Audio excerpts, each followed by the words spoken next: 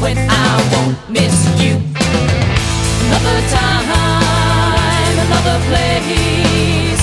It would have worked with a little bit of faith. I never will forget your beautiful face. Another time, another.